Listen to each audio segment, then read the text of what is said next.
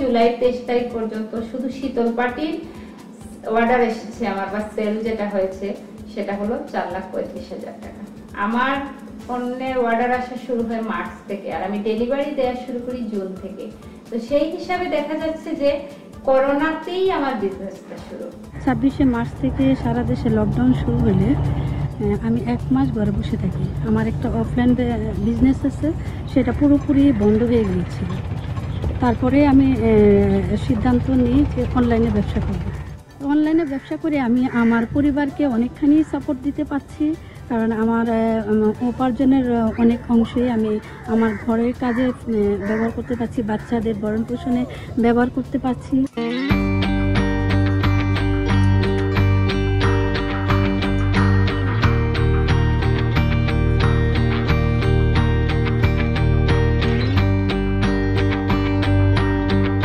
আমার পণ্য হচ্ছে হাতে তৈরি গহনা। যে গহনাগুলো আমি নিজেই নকশা করে থাকি এবং আমি নিজে বানিয়ে থাকি। আমি ফেনীতেই আমার উদ্যোগ শুরু করেছি এবং আমার উদ্যোগ এখন পর্যন্ত আমি ফেনীতেই চালিয়ে নিয়ে যাচ্ছি। আমি চিন্তা করি যে আমি যা এমন একটা পণ্য নিয়ে কাজ করব যেটা আমাদের ঐতিহ্য বহন করে। তখন আমি চিন্তা করলাম যে আমি শীতল পাটিটাকে শুধু শীতল পাটিতে রাখব না। ওটাকে আমি বিভিন্ন ধরনের ফিউশন আনার চেষ্টা করব।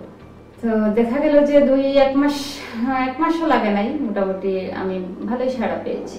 আমি কাজ করছি টাঙ্গাইলের ঐতিহ্যবাহী খেস শাড়ি নিয়ে। আসলে খেস শাড়ির বানানোর পদ্ধতি থেকে আমাকে মুক্ত করেছে। এখন আমার স্টোরে অনলাইন স্টোরে খেস শাড়ির পাশাপাশি ওড়না আছে পাঞ্জাবি, কুর্তি বেবি ড্রেস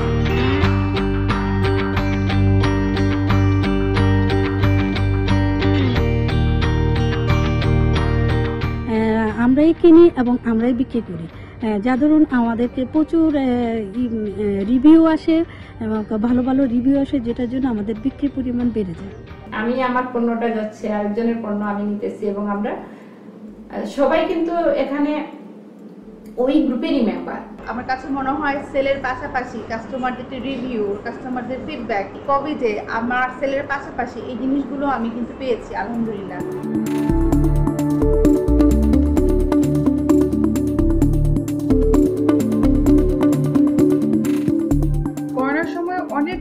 বেসরকারি চাকরিজীবী হয় তাদের চাকরি হারিয়েছেন অথবা তাদের স্যালারি কম পেয়েছেন অথবা স্যালারি টোটালি বন্ধই হয়ে গেছে।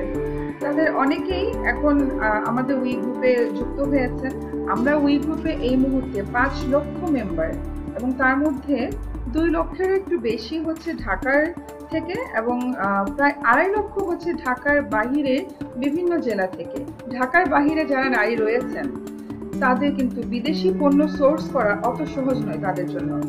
এবং সেজন্য তারা তাদের চারপাশে যে পণ্য রয়েছে, বা নিজের ঘরে রান্না বান্না অথবা হাতে তৈরি গহনা, অথবা যাই করেন না কেন, সেটাকে ই কমার্সের মাধ্যমে তারা প্রচার করতে পারছেন।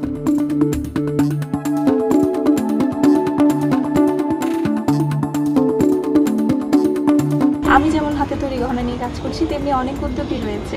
তো এই উদ্যোগগুলোর জন্য যে কাঁচামালের প্রয়োজন, সেই পর্যাপ্ততা নেই। আমি প্রত্যন্ত অঞ্চল রাঙ্গামাটিতে বাস করি, এখানে মাত্র দুইটা কুরিয়ার সার্ভিস আছে।